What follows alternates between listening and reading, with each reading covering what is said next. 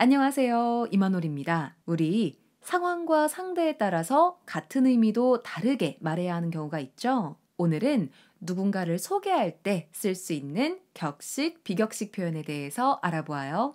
회사에 새로운 직원이 들어와서 소개할 때 uh, Your attention please. I'd like you to meet Miss Kim. She'll be working at the marketing department. Hello, nice to meet you all. I look forward to working with you. 이번에는 우연히 만난 친구에게 애인을 소개할 때 Hey, I didn't expect to see you here. Long time no see. Who is this? Oh, say hello to my boyfriend. Nice to meet you. I've heard a lot about you.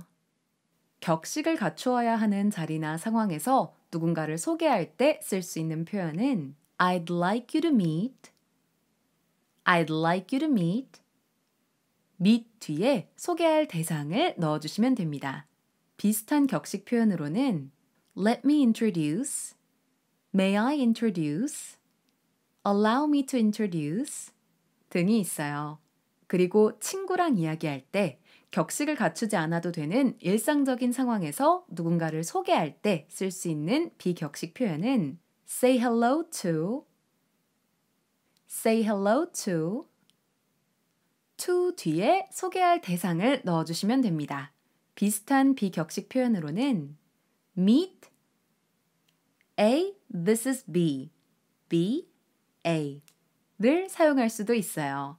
오늘 함께 알아본 누군가를 소개할 때 쓸 수 있는 표현 상황에 맞게 잘 사용해 보시고 더 많은 격식, 비격식 상황에서 사용할 수 있는 원어민 표현들은 100% 무료 앱 케이크에서 공부하실 수 있습니다. 지금 바로 다운받아 보세요. 그럼 우리는 다음 영상으로 만나요. 안녕!